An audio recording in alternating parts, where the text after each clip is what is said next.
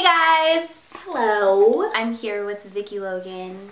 If you're not sure, I'm Ashley D. We're doing a vlog. Yes, we're doing a vlog type thing. Type this video is actually supposed to be on Ashley's radio show. If you don't know about her radio show, you should check it out. It is called Ashley and Company, and I was gonna be the company, but um, yeah, it didn't work out. You know, you do what you can and So we're just gonna do a video instead. Yup. Which I figured would be awesome because you get to see us Together.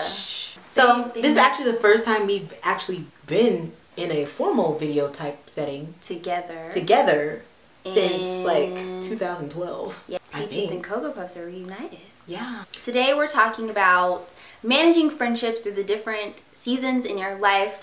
Um, because quite frankly, we got a lot of questions as far as how our transition was as far as our friendship was concerned.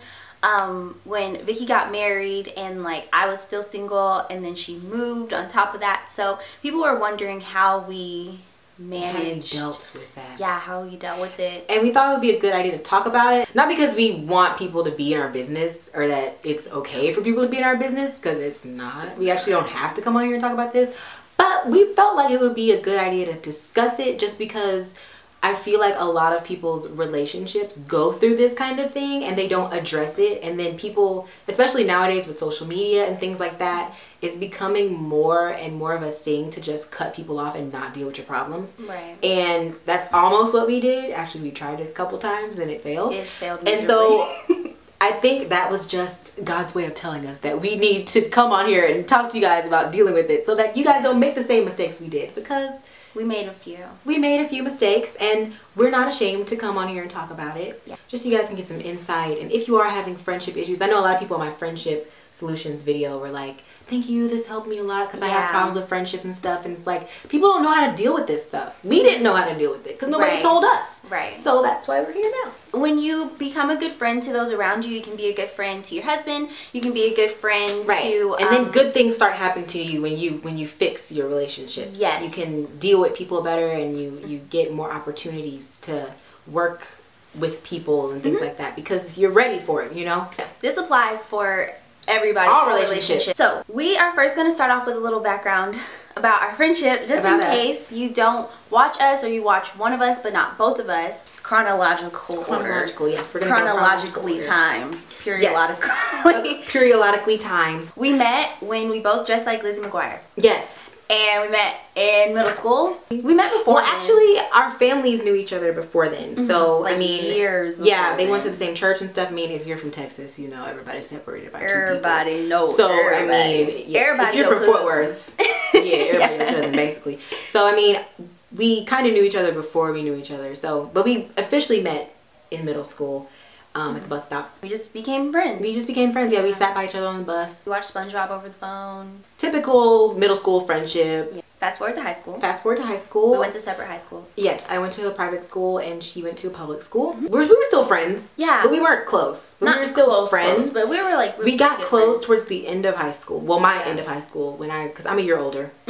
I mean, we'd always been friends. No, I mean, but like hanging out. Yeah, On a hanging out Because basis. she 'Cause ran I had a car. Because I had a yeah, car, she had a car and she was- ran track, and I was on the step team. So it wasn't that we were like having problems or anything. We just like did different things Yeah. and yeah. had like our own. little But once I once I got a car, I was able to like go visit her at school and stuff, and so I would go to her school. She's so clutch. She used to bring me lunch all I used the to bring her time. lunch, and yep, and then um, I invited her to go to prom with me. Yes. I couldn't have a date.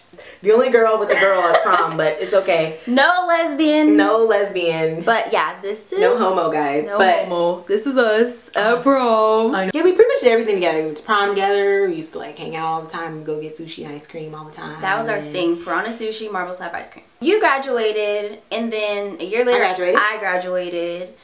Um, we worked in the same mall. So basically, our point is we were like Always together. always pretty much everything was together. and even with youtube like we started making videos at the same like around the same time Mm-hmm. i was like making videos on facebook and she was posting videos on facebook which are so funny and i wish i had They're those videos hilarious. so you guys could see them because they were literally the funniest videos ever in life I reactivated my Facebook, so my videos are still there. oh my god can you get those yeah, we started doing makeup at the same time. we started doing makeup at the same time BH Cosmetics. Yep. We pretty much did everything together. So we were your typical best friend Best situation. friends, BFF. Like BFFF. BFFF. L. L. BFFFL. LL. Things changed Yeah. um around when I went to college. That's kind of when things started changing. Yeah. Kind of took me away from being able to hang out as much and being able to do the same things. Like we weren't doing the same thing anymore, so it felt kind of weird. We didn't address it because No, we, we don't address anything. it. Like okay, Anytime let me just give y'all a little background about me, and then she Yes. give a little background about her. I I'm not confrontational. I don't address things. So if there's a problem, I'm not gonna talk about it. That's just me. I'm just not gonna bring it up because I don't like to bring stuff up because I don't want to cause any problems. You know, if I felt like something was weird or off or different, I wouldn't say anything. Things started building up. One thing would happen or another thing would happen, and it would like cause a rift in our friendship. But we wouldn't say anything because we didn't want to avoid it. I mean, we didn't. I mean, we didn't want to. We wanted to avoid it Yeah, we didn't want to address it. when I go through things, like if I if I have a problem, I don't want people to talk to me about it. I just deal with myself. I stay to myself. I don't need anybody to help me. I don't know. I got this, guys. I'm gonna do it myself. It's cool. And then I'm like, okay, let's move on. But I didn't know that other people weren't like that. You know, when we whenever we had problems, I didn't know how to deal with Ashley's problems. We never really dealt with anything. We didn't have any experience in dealing with anything. Mm. If something happened, we just fell apart. Yeah, we had a real cupcake friendship. So we had Yeah, like, a- everything was just peachy and happy all the time. It was based on food and it was based on Yeah. makeup and like it was it was superficial. Superficial. If something really bad happened, we would just not Yeah. talk about it, or we wouldn't talk to each other for like months, and then Yeah. it was just awkward. Like we didn't want to address it, and if we did address something, we did it the wrong way. I will admit that I would be the one who would like subtweet, Yeah, who would like just talk about my feelings, but I would vent online, Mm-hmm. and that's the literally the worst thing in the whole universe to do. Just getting online and just saying anything like getting on Tumblr, getting on Twitter, talking about each other yeah, like we couldn't see it. subliminally, Subliminally. So we would see it, but then it was. Yeah, And it, was- just it makes things a lot worse than like you would think. right instead of just talking to each other face to face. Like it's like why didn't we just call each to other? yeah. The thing is, like, we were kind of like fake about it, and we would call each other, but we would be like, "Hey, do you want to go out to eat?" Yeah, it's like yeah, everything's cool. So we're just You know, gonna pretend like fine. it never happened. Yeah, it only caused more tension. Yeah. and stuff started building up. We had a track. big spat, and that was when our relationship became like really, really challenged. Mm-hmm. Um, it was kind of at a point where I don't know about you, but like I felt like I do not want to be friends anymore. Mhm. We both like made really crucial, like really detrimental mistakes at that point, and that was I mean before then there were like warning signs like y'all need to talk, y'all need to talk, y'all need to talk. Yeah, there was always warnings. There was always those moments where it's like I feel like there's we need to say something, but Yeah. we never did. that was like when everything just like exploded. Yeah. Um, and we didn't talk for like months. Yeah, we didn't talk for months. Months. And anytime that happened, we didn't never really say let's separate or whatever. It was just like I'm not gonna address it, so I'm just gonna not talk about it. I'm just gonna mm-hmm. go give you your space. I thought the space was good. She thought the space was bad. It kind of made her feel like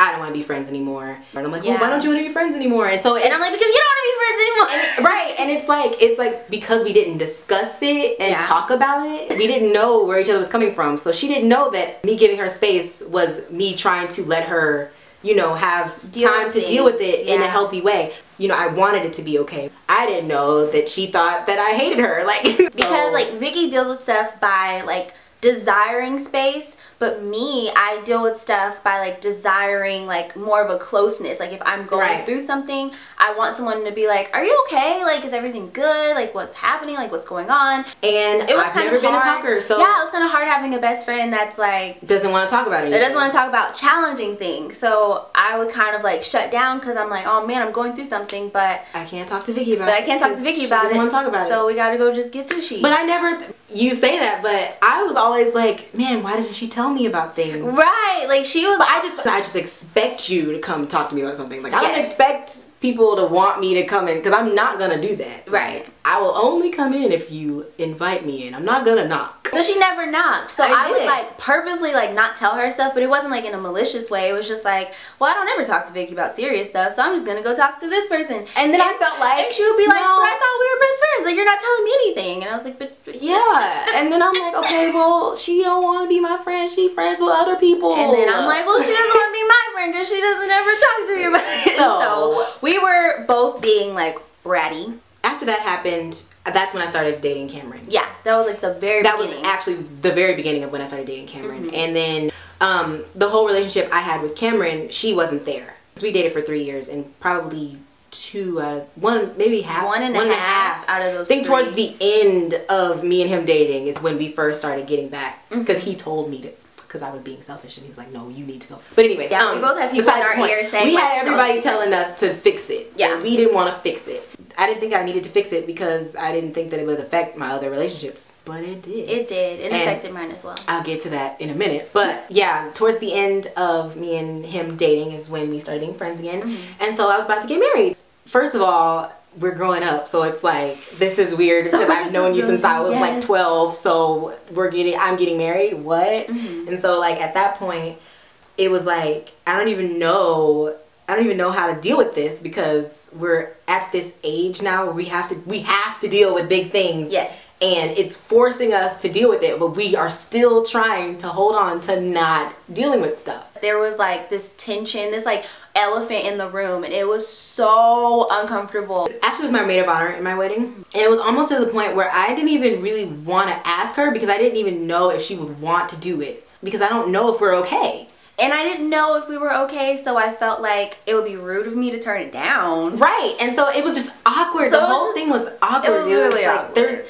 if, if i don't ask she's gonna be mad at me but if i do ask she will feel like she has to do it We were so used to doing everything at the same time. mm-hmm. So when she like got engaged and she was about to get married, I was like, whoa, whoa, whoa, whoa, whoa, whoa, whoa, whoa, whoa, whoa, whoa, Wait. whoa. Because marriage is like a secret society, and like you can't, you can't talk to your single friends. it's not that I can't talk to my single friends. It's just when you're married, you're different and you Yes. feel different. And it's like there's certain things you can't talk about with single people because Exactly. they don't get it. And you don't- you don't 'cause get ha- just because you haven't experienced it, not Right. because they're not gonna understand. It's just Oh no, no, not that. they haven't experienced it. And so, it was like this barrier was up again, and I'm just like, uh We can't get to each like, We can't get to each other Right. like, because it's not like graduation or oh I'm graduating next year like. And you said that it was a form of jealousy, and it, it was like a form of envy because it was just like if I was engaged at the time, I would be like, oh yeah, like I would totally Right. understand. But since I was like completely single, I was just like, what? once the wedding came, the whole wedding day, I don't think you said like two words until like she was dead quiet. I was like, we were all like just like.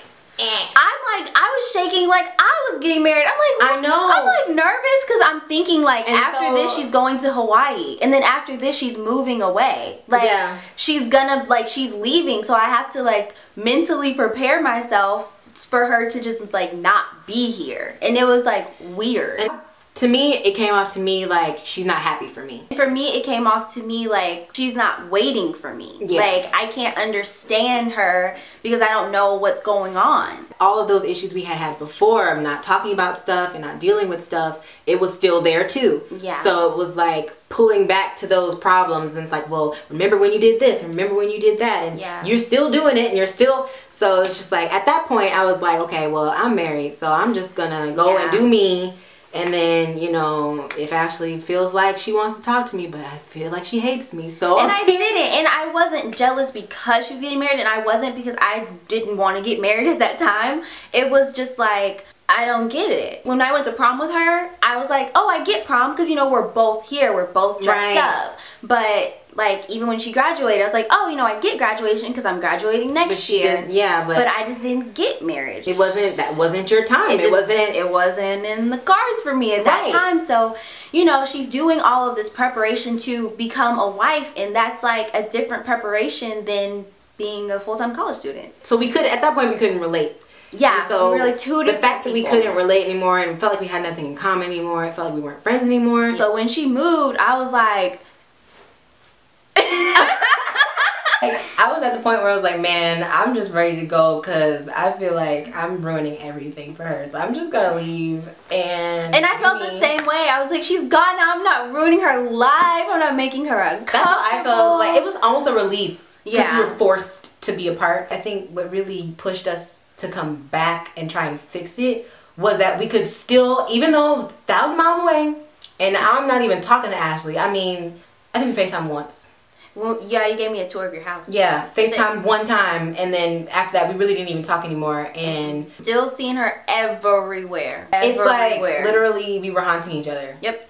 We can't escape each I other. I can't. We can't. and it's like I know it was a problem because I still had bitterness towards the situation. Me too. I still have friendship bitterness, and let me tell you how. Like bitterness or anger towards anybody, like in your family or your friendships or whatever if you haven't let stuff go and moved on from it, it'll carry over into your other relationships. I haven't had problems with just Ashley. I've had problems with all kinds of friends and stuff. I've always had problems with friendships. Same here. And so because Ashley was such a big part of my life and we had so many problems, it's like I looked at every other friendship with the same eye, like I looked at ours. Yeah. So dealing with those problems never worked because I never dealt with our problems. You can move literally anywhere on this planet. Mm-hmm. But Unless- your problems come with you. Like you don't become a new person. There is no reset button. You have to work things out where you are with who you're dealing with Mm-hmm. and then you can go wherever it is that you need to go. But moving, getting new stuff, um, getting new friends, uh, if you have problems in one relationship, jumping to another one, everything follows. And that's, I was at a marriage retreat. They were talking about that, how people can get a divorce from somebody and then marry somebody else and have the same issues. And like, but I married a whole new person. How am I having the same issues? Well, it's not really the person, it's really the issues that you didn't deal with Right. in that divorce that carried over into your relationship. So it's not necessarily people that are the problem, it's the issues that you don't deal with that are the problem. Issues are literally like debt.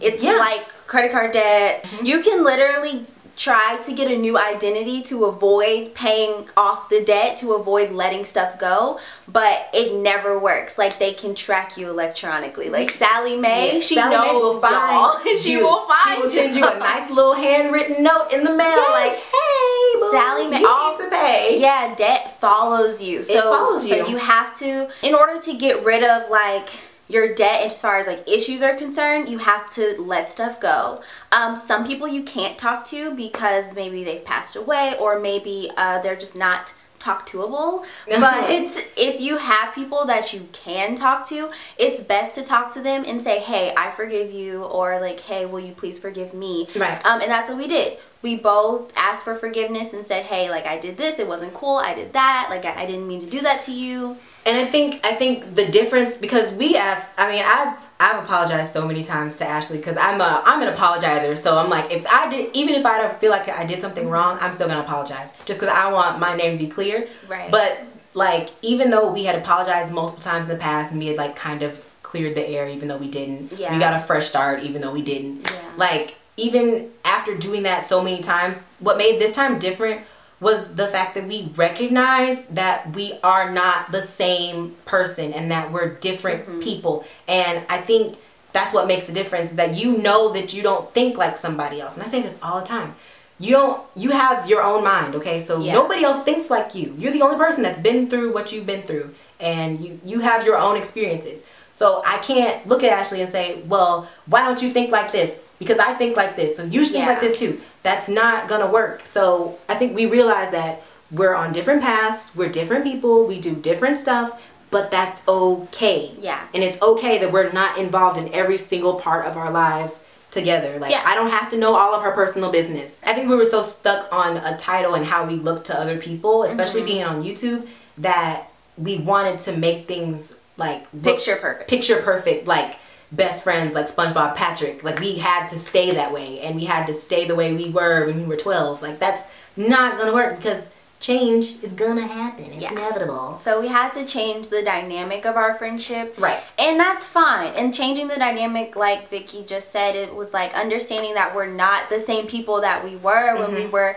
on our house phones watching the SpongeBob movie. Like, Mm-hmm. Right. we're totally different people. You're married, you're in Illinois, I'm a full time college student, and um, I'm working. We may be doing the same thing as far as like YouTube is concerned. But and we're not the same. Yeah, but we're not the same. Me personally, I had like this Kelly complex where I felt like she was Beyonce and I was Kelly and I was kind of like in the background. and I was just like, Say my name, say my name. And I'm all like, when no one is around. and I was just like, hey, hey, hey, hey. but I want to be married to Jay and I want to be Ivy and I want to. Yeah. and so Like, like, but you can't. You gotta find your own. You have to find your own way. And as y'all can see, even in Beyonce and Kelly's friendship, you can tell that they have found their own way. And that's how we like finally settled all of this. We're like, we're not best friends. We're sisters. Mm-hmm. And we have to treat each other like sisters and not with this stupid title Yeah. of like best friendship because like you want to you want to like do everything with your best friend and like we used to like match and stuff We did. we matched like Shared clothes. yeah we shared And I was so frustrated when she like gained weight and Yep. wasn't a zero anymore, and I Yep. couldn't fit her jeans. I'm like, are you Yep. kidding me? And she put a hole in my shorts. I sure did we were out. trying so hard to be like the same Because you can't be like somebody else. Because No. you're your own person. yes You have to be yourself because everybody else is already taken. sounds like something Kandee Johnson would say sounds like something. Kandee Johnson has said Probably she probably. say probably said it in the same. But you know they look, especially on YouTube, yeah especially on YouTube, or stop looking at other people and their progression doing something and saying, why am I not there? Why don't I have that yet? Or why isn't it the same for me? Because you have your own life and your own path. You know, you can't be like thrown off by what somebody else is doing because that's not your life. You Right. don't have the same life as them. You didn't go through the same thing as them. So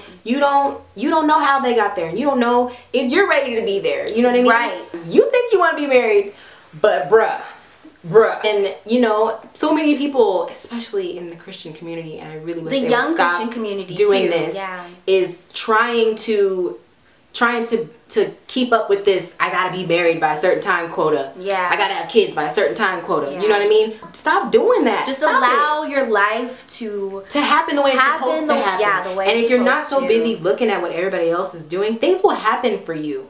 Things will happen for you when you're content because you're not looking for it. You know what I mean? Calm because down. everything has a process.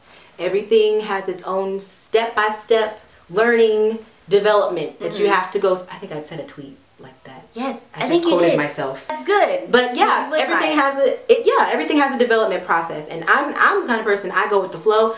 I don't ever ask for anything if I know that I ain't ready for it. Like yeah, she's always been a go with the flow type of person. Right. I was always the person that tried to like force things sometimes when I was like, well, I feel like I deserve it or I feel like I'm ready for this, so I'm gonna just go for it. I've tried it maybe once or twice, and that's why I was like, at that point, I'm like, Yeah. nope, I'm going into everything with no expectations, and I'm just gonna go with the flow because doing things myself doesn't work. But And that's like when Vicky got in like in her relationship and I could tell it was like getting serious.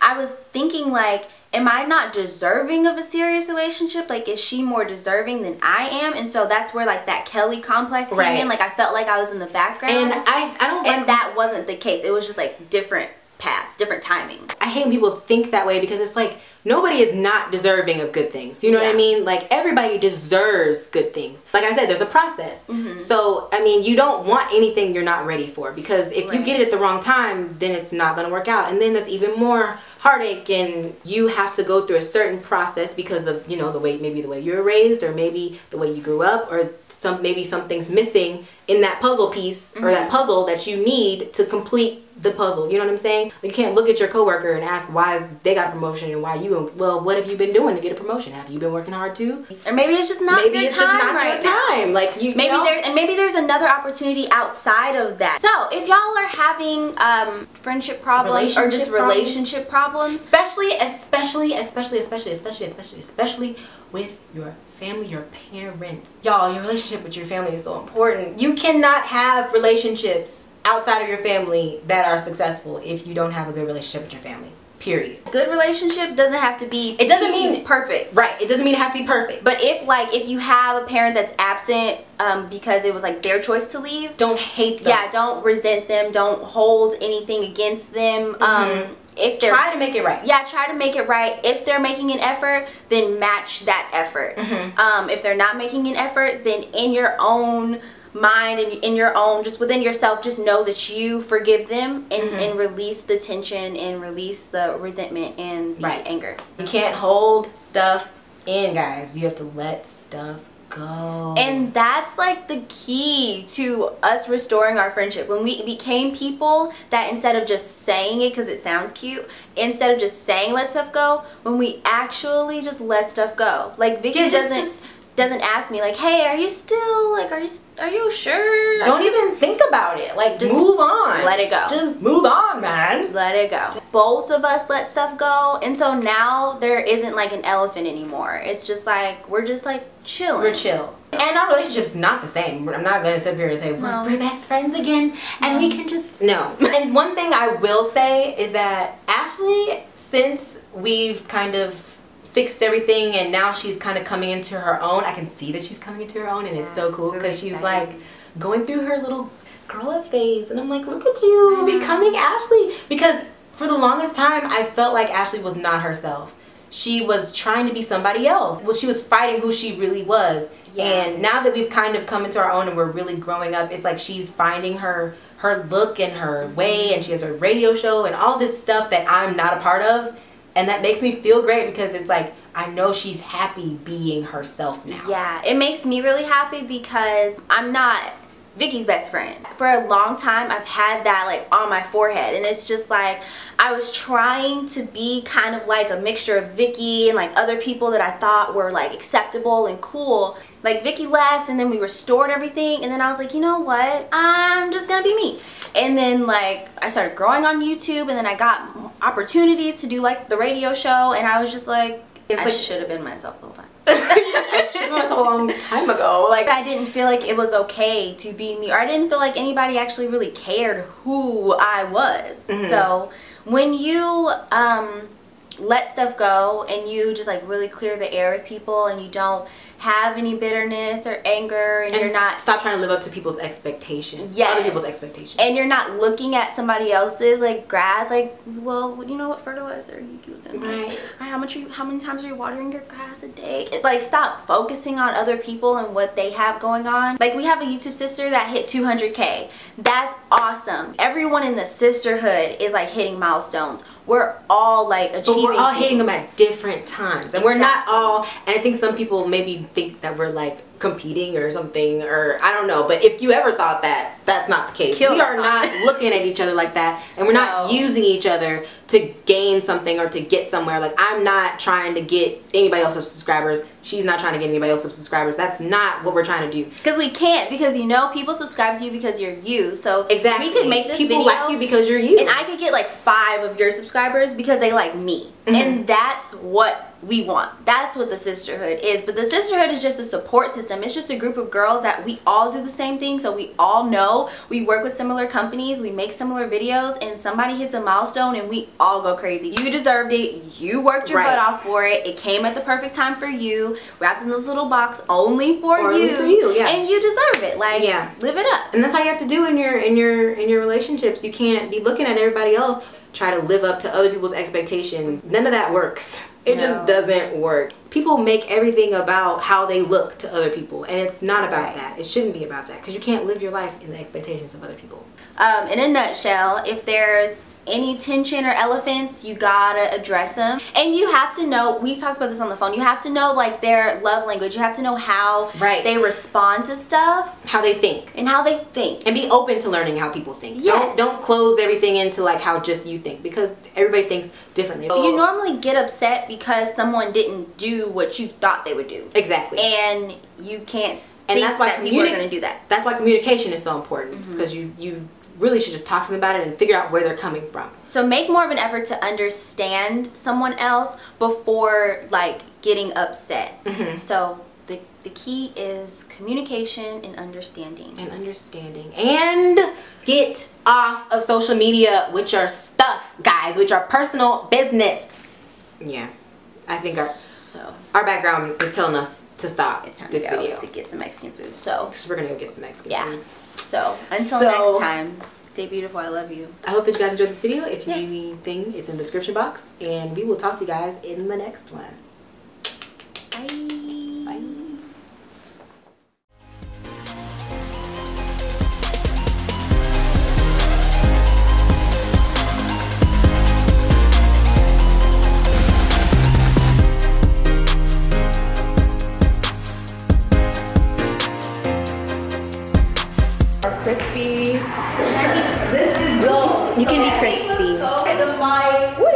Right?